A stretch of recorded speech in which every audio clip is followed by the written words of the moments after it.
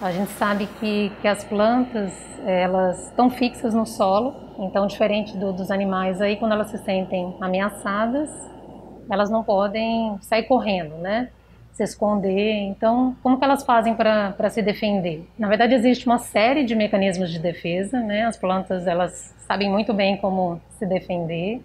Tem alguns mecanismos que são bastante visíveis, é, como os espinhos, né, a presença de serosidade, látex, substâncias tóxicas. E existem algumas outras formas de, de defesa que não são tão visíveis assim. Essa questão que a gente tem trabalhado bastante, que é a questão dos voláteis de defesa. Então, compostos orgânicos, né, substâncias químicas que as plantas liberam quando elas são atacadas.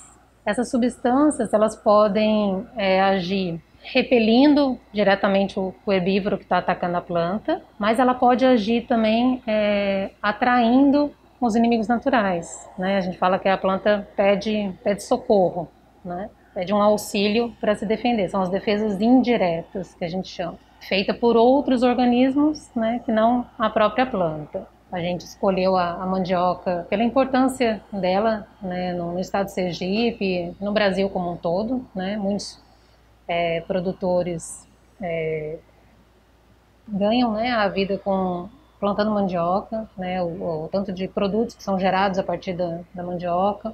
O principal ácaro herbívoro, que é considerado a principal praga da, da mandioca, que é o ácaro verde, né, o nome científico dele é Mononicellus tanajoa, é bastante encontrado aqui no, no, estado. Também trabalhamos com outro ácaro, que é um ácaro generalista, que ataca mandioca, mas também outras plantas, que é o ácaro rajado, que é bastante comum, é o Tetranicus urtica.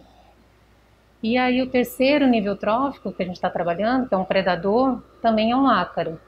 Tá? É um ácaro predador desses ácaros fitófagos, desses ácaros herbívoros. O que nós observamos foi que a planta de mandioca, quando ela é atacada por esses, esses herbívoros, ela produz diferentes misturas de compostos voláteis, que vão diferir tanto daqueles compostos que são emitidos pelas plantas sadias, quanto entre si.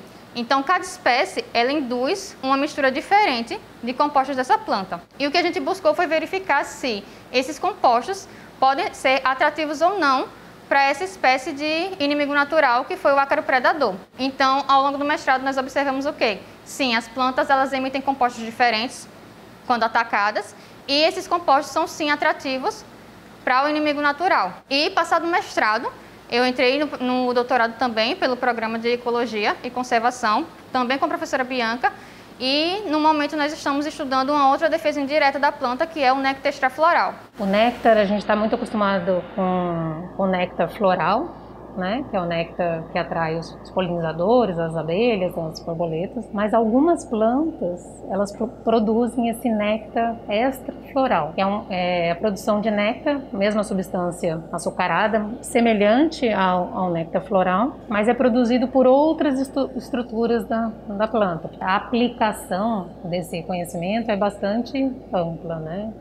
Principalmente na, na, área agronômica, na área biotecnológica. Aí, né? A gente pode é, aplicar esses produtos, esses compostos orgânicos voláteis sintéticos no, no campo para atrair esses inimigos naturais, então para auxiliar no controle biológico, né, que é justamente esse controle feito pelos predadores, pelos parasitoides. Tem alguns estudos também recentes falando sobre uma vacinação verde, né, na, nas plantas, que é justamente é, expor essas plantas a esses compostos voláteis que induzem esses mecanismos de defesa para auxiliar no sistema imunológico da, da planta, então já deixar ela mais preparada para um possível ataque. Pode ser aplicado de diversas formas na, na agricultura para esse controle né, mais eficiente. O que a gente pretende fazer até, agora, é, até o final do doutorado seria terminar a parte de indução do néctar extrafloral e verificar a resposta de mais uma espécie de ácaro herbívoro